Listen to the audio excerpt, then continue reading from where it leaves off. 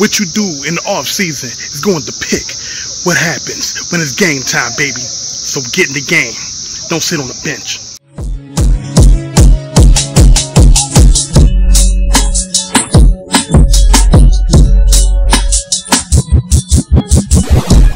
What it do, fam?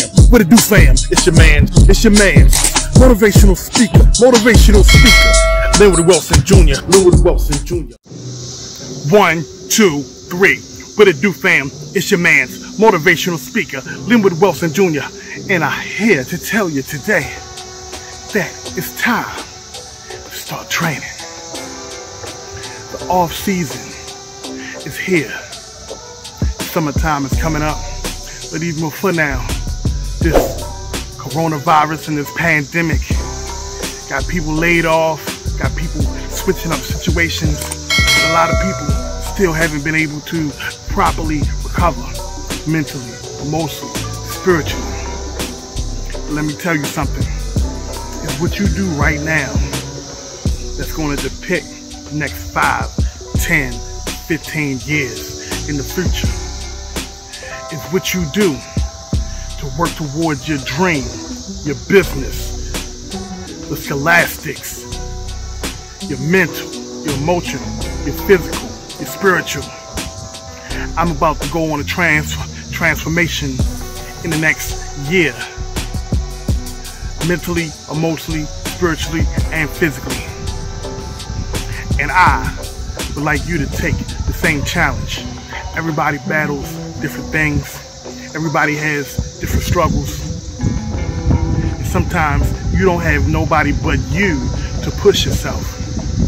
I was listening to a J. Cole interview and when he didn't do well and make the NBA league and he wanted to do music as a career, he wasn't concentrating and he had his boys to bring him back. Sometimes you don't have that. Sometimes it's between you and the man above. But either way, you got to bring yourself back and say, it's time for me to do the work in silence while everybody else sleeping. Let your results in one year, three year, five year, ten year show. It ain't for everybody to see right now. Because the work that you do behind the scenes is going to depict what you do when it's time to get in the game. You see, I got these bleachers behind me. Don't just sit in the stands and watch. I'm actually standing on top of the uh, on top of the bench for a reason. Because you can't be a bench warmer. You got to be ready to jump in the game at any given time. You got to be ready to perform because if a task is put up before you, opportunity, you got to be prepared, baby. But if you ain't about that business, if you slacking, if you ain't doing whatever you got to do to put yourself in the eternal grind mode, eternal beast mode, because it's continuous. It ain't just a one of. Because it's a one of, it's just like a one hit wonder. You're going to get a big shot, big publicity on TV, but then six months later, ain't nobody going to hear from you again. You got to think about legacy. You got to think about how you want your family to eat and your family's family to eat. You got to think about, I'm doing this for me so my family can be better in the aftermath. Because a lot of people are selfish. They don't think about the long term. If you don't think about the long term, all you're going to do is stay stagnant. All you're going to do is stay in place. But you got to make moves major to attain your greatness.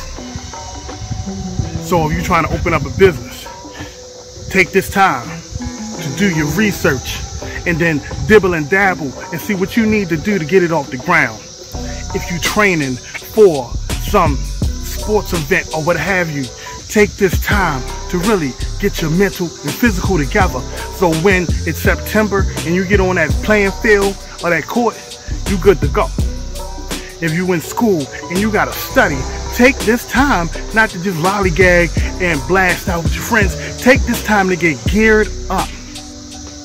Yeah, you can have your little fun here and there, but you got to come back and think about what's going to put you above the rest in the long run.